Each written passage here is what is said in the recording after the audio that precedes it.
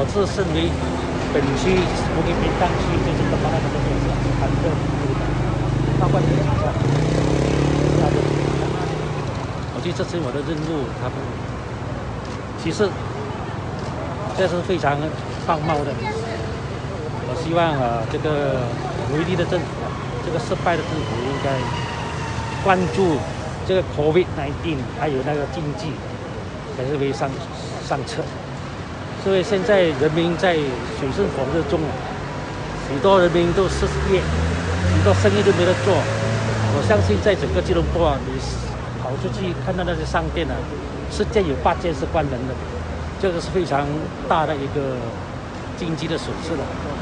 假如我们不搞好我们的国家的经济，马来西亚再成为一个失败的国家。其他国家好像新加坡，人家已经开始要恢复了，我们还在。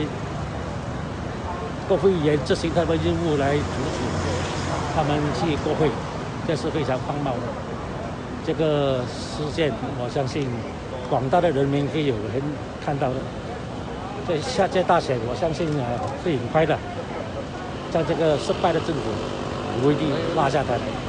使到国家能够走向正途了，国家恢复正常的经济的活动，还有人民能够生活在一个。啊，政更好的政府的政政之下，能够安居乐业，这是我要讲的。